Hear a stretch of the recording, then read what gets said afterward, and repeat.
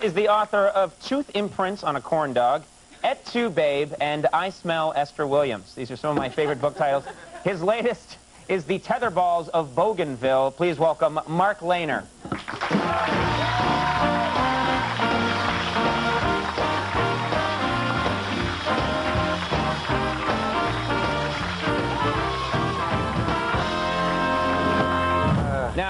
I was reading the book this morning. This has got a very uh, interesting plot. T tell us the plot. I can tell you very simply. Okay. I'm 13 in the book. Mhm. I go to prison to watch my father executed by lethal injection, Mm-hmm. and uh, then I have sex with the warden. Just So it's one of those, you know, I'm sure you're thinking, yeah, another one of those. Watch your father executed, have sex with the warden books. But, when can someone come up with a new idea? That's Yeah. what I'm asking. Well, this one has tetherball. right, right. That was my stroke of genius, I think. You added in that in there, and now you uh, you're clearly when you're writing these books, and maybe I have the wrong take, but you're clearly trying to you include your parents a lot. yeah. Are you trying to upset them a little bit? Are you trying to punish them in some ways? I'm trying to punish them, hurt them deeply, but I've yet to succeed. In this book, this was one of my greatest efforts, actually. Mhm. My father, I portrayed my father as a um, an angel dust addicted psychopathic killer, Mhm. and my mother, With a heart of gold.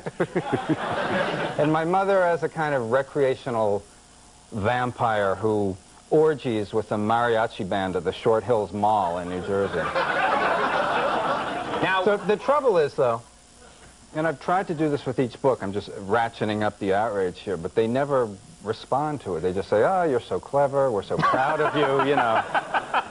If they would only uh, rise to the occasion once, I'd stop. That's the only reason I'm doing this. you want some outrage from your parents. Yeah, it's like in the in in um, The Exorcist when Linda Blair comes down and she pees at the dinner party. Mhm. That's that's what I'm trying to do. I just want to I want to get a reaction out of them. Right. If they'd react, I'd stop writing. I never wanted to do this. That's what my show is. This show is all about that same That's thing. right. I'm here great- just trying to get my parents to say, okay, stop it, enough.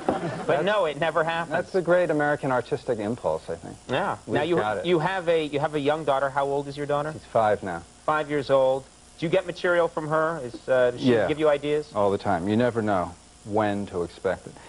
What was recently? Um, oh, I was going to be on the Charlie Rose show. I'm about to go out the door, and she stops me very earnestly, very serious. She says, "Dad, you going to bring your penis?" so I, Did you? I said, "Yeah." Well, you know, since Begs the question. it's since I started using the detachable. I don't know if you've tried that. You know, you hate to be out and you're. It's very embarrassing to be caught without it. Yeah. what? Uh, so so uh, what did you say? What did you do? You just I told her I had it. First of all, on that show, you never know. You know, his questions can get sort of lengthy, so you never. You, sometimes you want to just have a little prop to take out and cut it short there. that would get Charlie Rose's attention. He'd be in the middle of a 10-minute question. My thinking. Yeah. That was my thing. Uh, you're doing, what strikes me as very odd is you're doing a sitcom. Because I, reading your books, I don't see your imagination and your world fitting onto a TV show. What's this sitcom going to be like? I don't know if I'd call it a sitcom. I think it, I'd call it. It's called Iggy Vile MD, and we've done a pilot for MTV. Mm-hmm. Um, I call it a medical action comedy. That's my. It's a new genre. Right. It's right. like here's. I'd say it's like Marcus Welby with prodigious alcohol consumption, slutty nurses, and cannibalism. It's kind of that. If you could work that all into the title, then you get, then you get people watching it. But it's very funny. But it's a comedy, too. It's a comedy.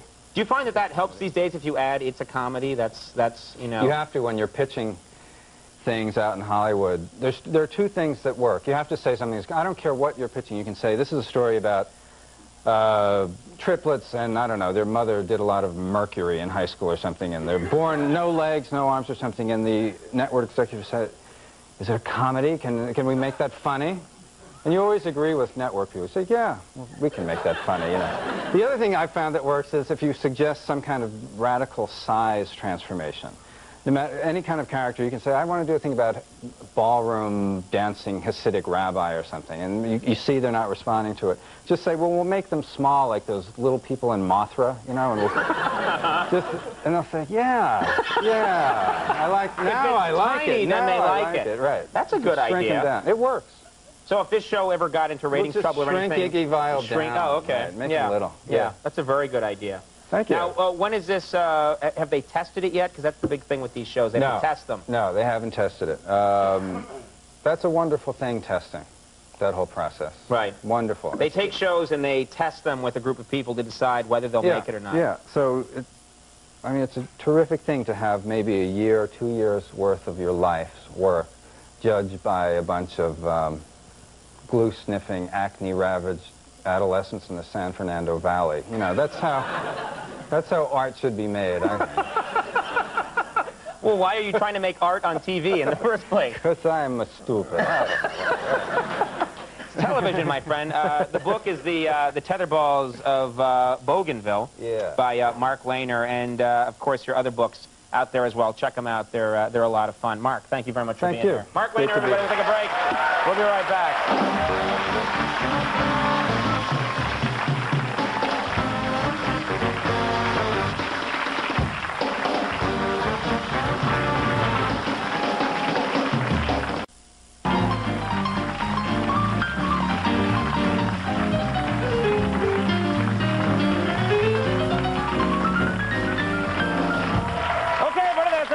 Evening. Uh, I do want to thank all my guests. Mark Leyner, thanks a lot for being here. Thank Very you. funny. It's a pleasure. Best of luck with the book. Our thanks to Jeri Ryan for being here. And of course, our thanks to Stephen Baldwin and his yellow hat for making it on the show. You got your Andy Richter. Feel better, Andy. Max Weinberg and the Max Weinberg 7. Good night, everybody. Stay tuned for later.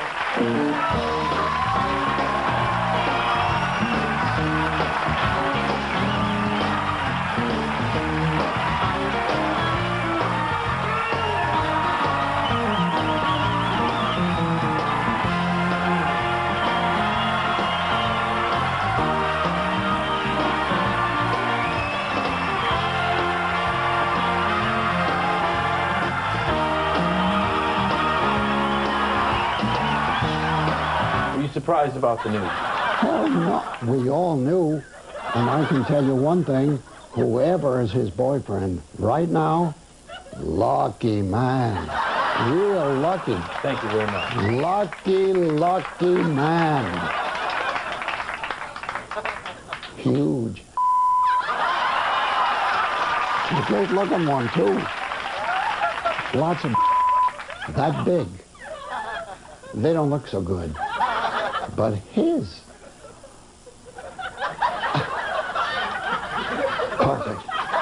Perfect, huge,